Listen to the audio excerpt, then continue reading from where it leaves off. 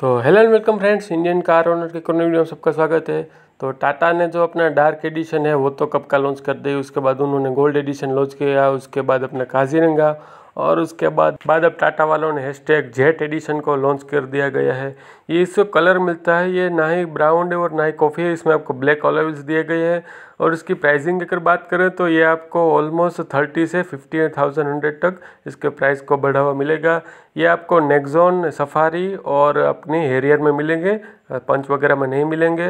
अगर, इसके जो इंटीरियर की बात करें तो उसमें सिर्फ़ थोड़े बहुत फीचर्स आपको बढ़ा के मिलेंगे। और बस ये आपको जेट एडिशन का अपडेट देना चाहे तो आप ये सिनेमेटिक शॉट इंजॉय कीजिए।